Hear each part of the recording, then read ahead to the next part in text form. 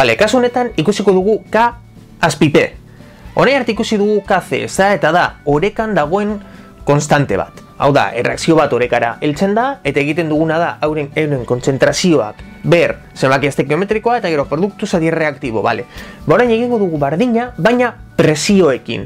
Bale, ze gertatzen da, ba, orekan dauden presio partzialekin, horiek, ber, zenbaki estequiometrikoa eta, bueno, produktu zati reaktibo. Da, formula oso antzekoa, baina, bueno, gauza ezberdinak dira.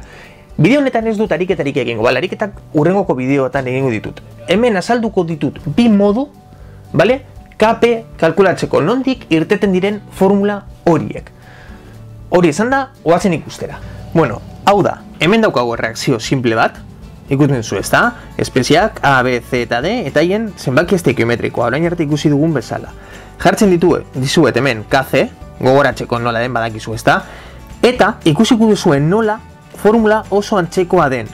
Produktuak zati reaktiboak, produktuak zati reaktiboak. Baina zer da P? P da presioa. KP dalako orekan daukagun presioa. Bale? Presio partzialen arteko zatiketa. Nola kalkulatzen dira presio partzialak? Orain ikusiko dugu hori. Baina egon adi, presio partziala zerena, presio partziala derena, presio partziala A, B, haien zenbaki estekiometrikoetara berretuta. Bale, orain, esan dizuet, bi modu daude hau kalkulatzeko. Lehenengokoa, hemen usten dizuet bideoa, ikus dezazuen, hau azaldu dut beste bideo baten, bale? Presio partxelen bideoan. Oso azalpen hona da, beraz, ikusi bertatik. Han azaltzen dut nola kalkulatu presio partxelak frakzio molarretik abiatuta. Baina, hau ez da guri orain interesatzen zaigun formula. Egondo dago jakitea hau, bale? ikusi bideo hori harinago. Guri, hemen agertuko den formula interesatzen zaigu. Orain ikusiko duzu. Hemen daukagu.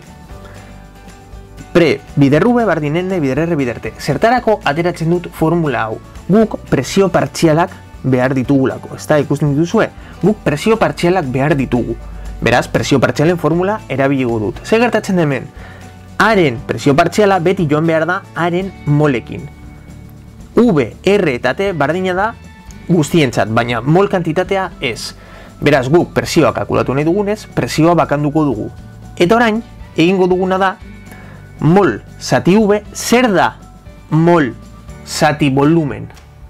Ahí está, kontzentrazioa, ez da molaritatea. Hemen, formula honetan, hemen agertuko den formulan, erlazionatuko dugu KP, kazerekin. Ja, lehenengoko pausua atera dugu, kontzentrazioa. Ez da? Beraz, hau jarri dezaket honela. Presioarena da kontzentrazioa bider R bider T. Segertatzen da gure ariketarekin. Daukagula haren presio partziala, berena, zerena eta derena. Beraz, guztiak kalkulatu behar ditugu. Baina, bueno, da, berdina, baina hemen jarri. B, B, C, C. Eta ordezkatu presio guztiak hemen nola?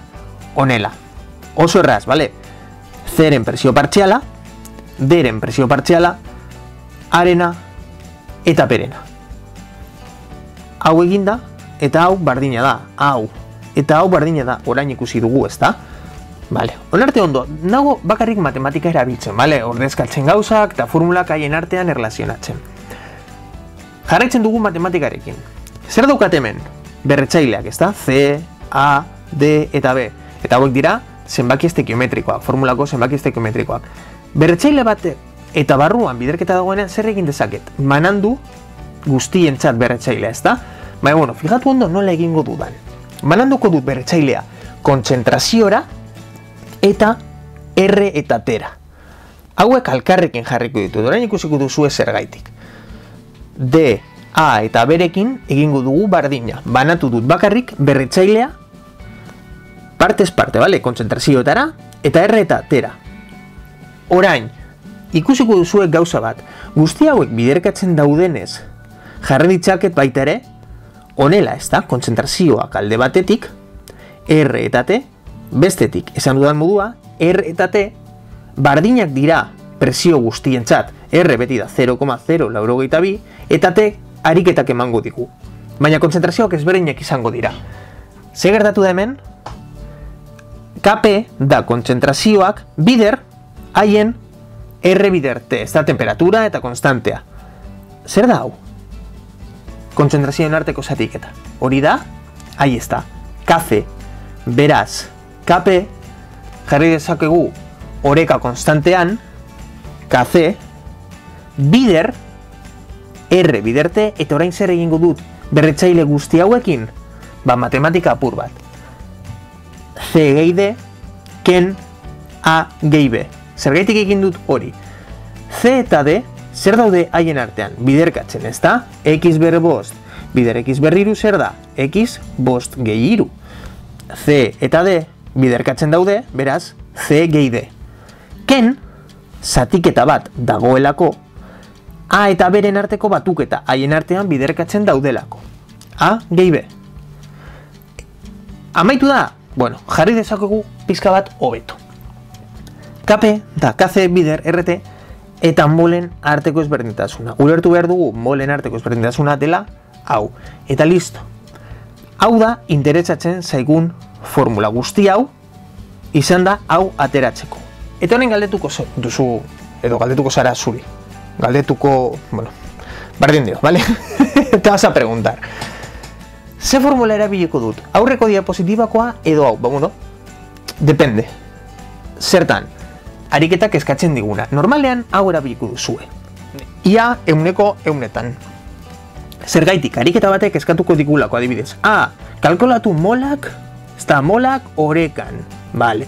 B, kalkulatu kafe eta kape, horrela izango litzateke. Kaze eta kape behin kaze kalkulatuta, kape atera dezakegulako. Listo, hori da.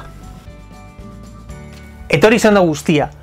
E, ikusi duzu, ez da ez da oso bideo luzea izan, ez erdia beste bideo baten azalduta daukat, baina bueno, e, hau da, geratu ondo azkenengo formularekin, hori da urrengo bideoan erabiliko dugun ariketa bat egiteko, ariketa oso potentea izango da, eta bueno, urrongon gaude. Daukazue bideo bardin Asia Akademia erderaz kanalean, bale, erderaz ikusi nahi baduzue, joan ikustera. Eta bueno, eskerrik asko ikustearen, urrengo gaude, agur!